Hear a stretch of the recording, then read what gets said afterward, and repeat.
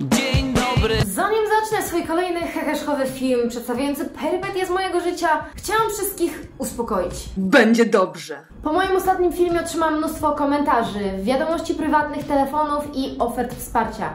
Dziękuję, pomogły. Co nie czasy liceum, kiedy mogłam pozwolić sobie na smutek, włączyć piosenki Happy Sadu i oddawać się błogiej rozpaczy. Miłość to nie pluszowy miś ani kwiaty. W dorosłym życiu, jak i życiu przedsiębiorcy, smutek to luksus i koszt. Remont posunął się naprzód, księgowe wydają się odstąpić od konfliktu i sprawy sercowe też ustabilizowane. Co prawda związku już nie ma, ale lody są nadal. Wśród wszystkich wiadomości, które otrzymałam w tym tygodniu, niestety znalazły się też takie.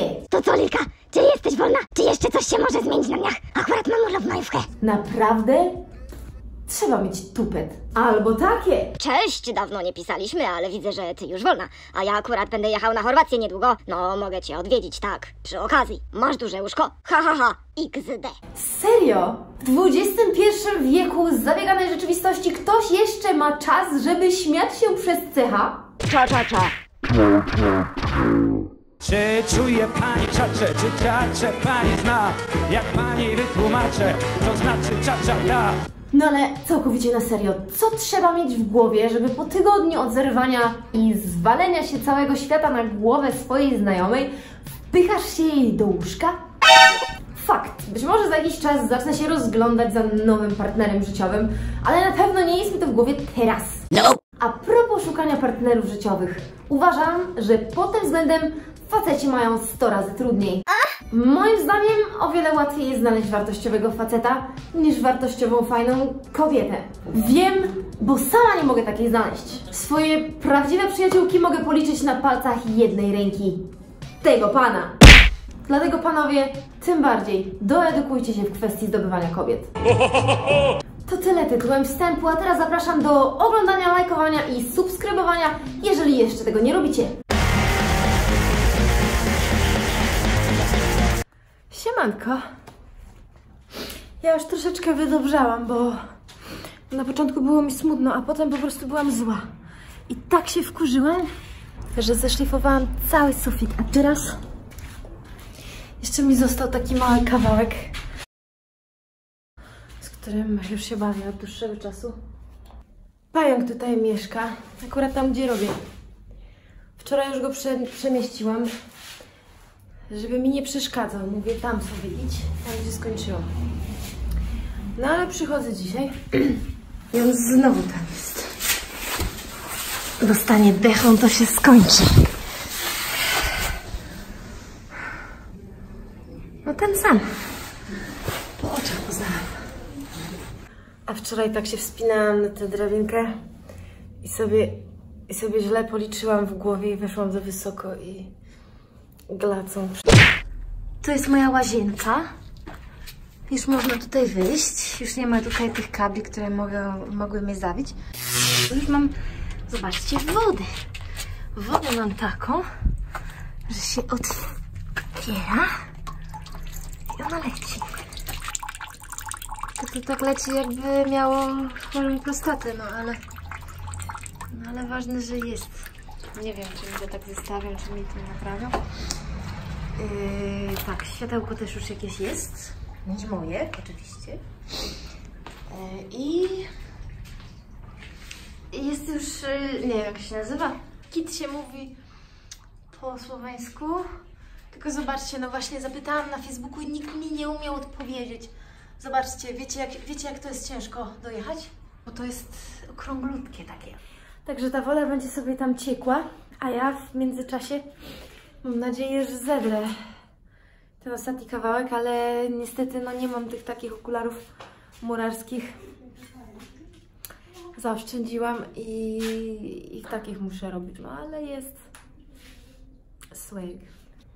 Kiedyś jako dziecko miałam taką definicję szczęścia, kiedy pytali nas, pierwsza chyba lekcja filozofii, gdzieś tam, nie wiem, jeszcze w podstawówce i zapytali nas, co to jest dla Was szczęście? I ja tak wtedy się zadumałam, jeszcze prowadziłam pamiętniczek i powiedziałam, że szczęście dla mnie to jest mieć na co czekać. I, i tak chyba faktycznie jest, bo Bo największa beznadzieja to kiedy nie ma się na co czekać albo się na coś czeka i to nie przychodzi.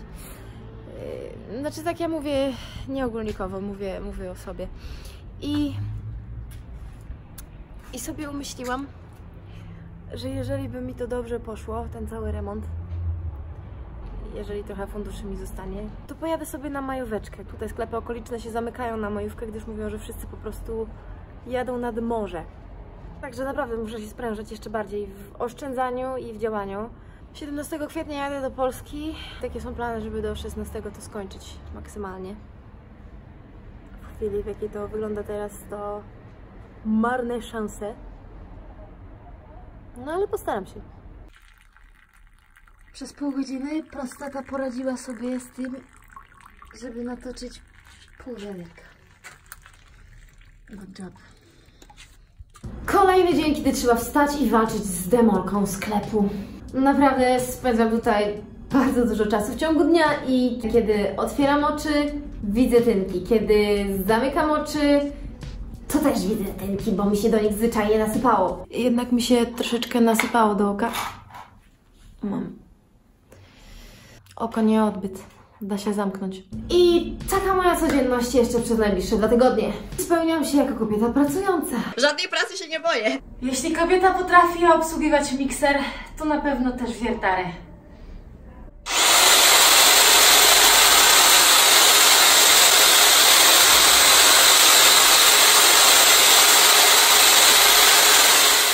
Jeżeli kobieta potrafi szpachlować dziury na twarzy, to będzie umiała zaszpachlować dziury w ścianie, bo to to samo, tylko większe.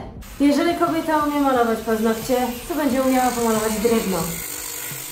Tutaj panowie robią reklamę, że pan jest niby budowlańcem. I wtedy wchodzę ja. Cała na biało. Jest już ciemno, ale Zobaczcie, gdzie jestem. Jeden niewłaściwy ruch pacą i koniec doczesnych problemów. Chyba, że początek wiecznych. Zobaczcie, jak ładnie zrobiłam prawie cały sufit. Trochę to jeszcze muszę dogłaskać, ale niestety... Tylko niestety zabrakło mi gipsu. A został mi taki kawałek. Malutki. Chyba ładnie mi to wyszło, bo budowlaniec, który robił łazienkę, zajrzał do mnie i mówi tak Ty to sama zrobiłaś? Nikt ci nie pomagał? A kto miał mi pomóc? Chłopak? Najgorsze jest w tym, że smutne piosenki, smutne miejsca są wszędzie wokół. Nie, niektóre piosenki tym bardziej dołują. Jesen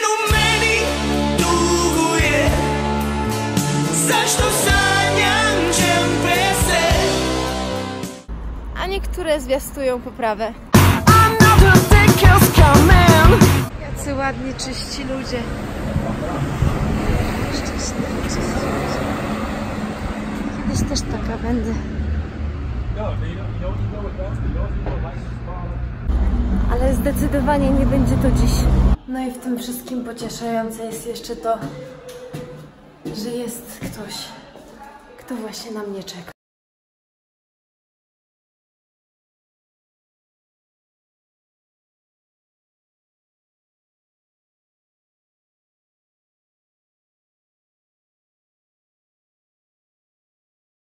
Pamiętacie z mojego vloga yy, z Bolonii, jeżeli nie to obejrzyjcie go, link u góry się Wam wyświetli. To jest tak, ta jasna uliczka i ta ciemna. I ja poszłam w tą ciemną i, i tak rzeczywiście się stało, bo mój sklep jest na końcu tej ciemnej. Która nie jest ciemna, tylko po prostu są tam yy, kluby. Jest radość. Chwilami. Ale jest coraz więcej takich chwil. Wracam do pracy. I oczywiście zapraszam do dania tego czerwonego przycisku i łapy w górę.